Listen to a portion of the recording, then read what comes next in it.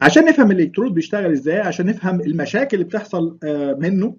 الحقيقة في عندنا يعني لازم نتخيل اللي بيحصل بالنسبة لل electrode electrolyte interface. basically إحنا بنتخيل الإلكترود عبارة عن حاجة شكلها metallic بالشكل ده كده. دايما بيبقى فيه بينه وبين الجسم فيه electrolyte. ال electrolyte ده بيبقى وات بقى هو شكله إيه بس بيبقى electrolyte. بيبتدي يحصل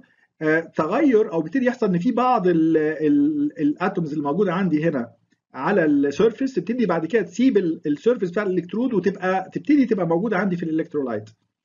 وبالعكس بقى بيحصل إن في electrons لو أنا عملت كده بيبقى في يعني يعني لما بتنزل هنا بتنزل كايون وبيبقى في هنا basically لو بتكلم على ده metal يبقى أكيد هينزل positive ion بيبقى في عندي ال electrons موجودة هنا وال electrons دي الحقيقة يعني بتديني هنا يعني بيبقى في certain potential وال certain potential ده ممكن بعد كده أقدر أخده وأقدر أقيسه وأقدر هو ده اللي يجيب لي ال signal بتاعت الحاجة اللي بتحصل فيه ناحية ال patient.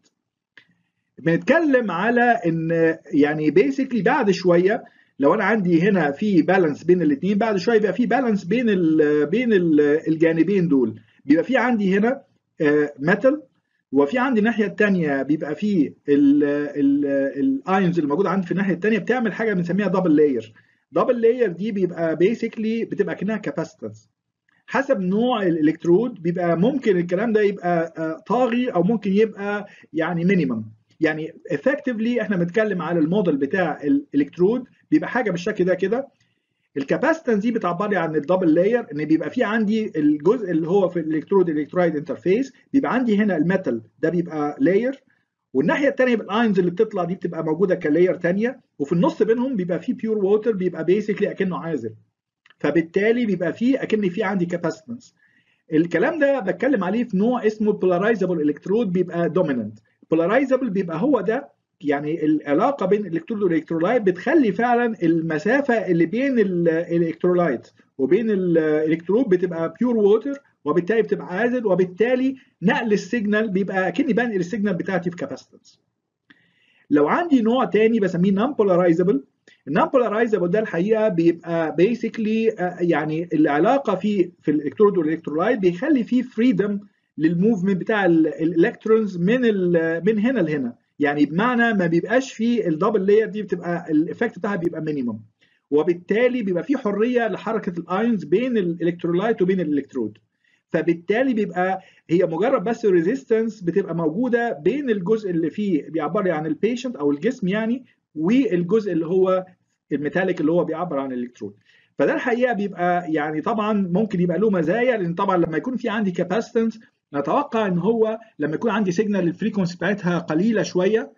ال impedance بتاعت ال capacitance هي 1 على j omega C فبالتالي يعني كل ما ال frequency قلت أو قربت من الصفر ال impedance بتاعها عالية جدا جدا جدا. فطبعا زي ما إحنا عارفين لما يكون ال impedance بتاعت ال source بتاعتي تبقى يعني عالية بيبقى عندي مشاكل إن أنا بعد كده أكبر ال signal أو إن أنا حتى أحصل على signal مفيدة من الأساس يعني.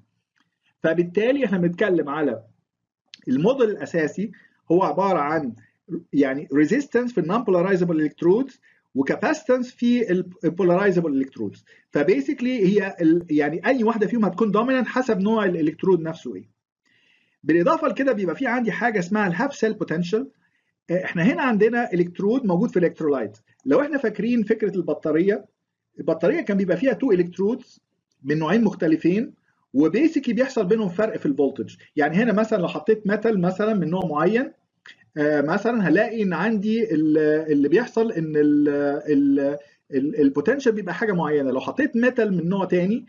هنلاقي إن برضو عندنا ال potential بيبقى مختلف. بيبقى في فرق potential بين الاثنين لما بحط 1 metal بس بيبقى في عندي حاجة بسميها ال half cell potential بيبقى عندي بس ال potential اللي موجود على واحد من الإلكترود اللي هو الإلكترود وبس. فده الحقيقة بيختلف برضو حسب نوع الإلكترود. يعني هنا نوع الإلكترود نفسه اللي موجود عندي بيحدد لي ال half cell potential ده بيساوي كام. ده ممكن يبقى حاجة بالفولت زي ما إحنا شايفين هنا كده حسب نوع الإلكترود. يعني مثلا اللي هو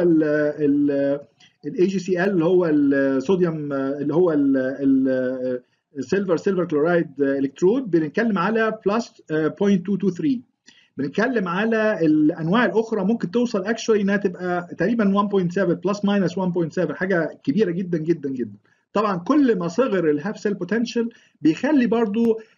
أسهل بالنسبة لي إن أنا آخد ال signal وأكبرها من غير ما يحصل لي مشكلة. لو أنا عندي half cell potential كبير وال signal اللي أنا بقيسها صغيرة لما أجي بكبر ال signal ممكن ال half cell potential دوت يعمل لي مشكلة إن هو يخلي ال amplifier بتاعي saturate ف basically إحنا في ال ideal electrode عاوزين إن هو يبقى non polarizable عشان يبقى الموديل بتاعه resistive عاوزين إن هو يبقى ال half cell potential بتاعه as small as possible.